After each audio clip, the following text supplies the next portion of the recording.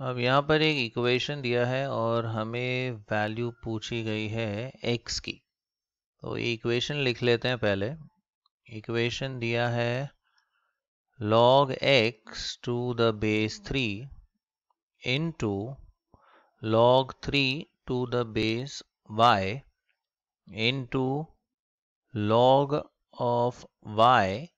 to the base two is equal to five अब left hand side में हम change of base theorem apply करते हैं। तो ये जो पहला टर्म है, ये हो जाएगा log x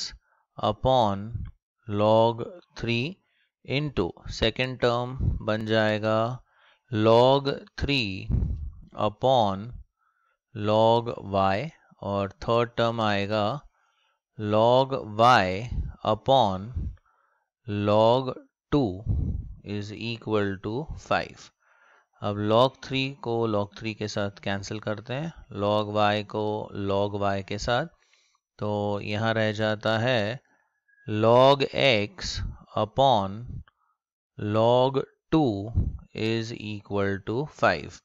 ये चाहिए तो हम राइट हैंड साइड पर log टू को ट्रांसफ़र कर लेते हैं। तो ये आएगा log x is equal to five times log two ये फाइव को अगर हम टू के पावर में ट्रांसफ़र कर दें तो हमें मिलेगा log x is equal to log of two raise to five तो दोनों तरफ़ log ओमिट कर देते हैं तो हमें मिलेगा x is equal to two raise to five यानी x की वैल्यू आती है thirty two which is option A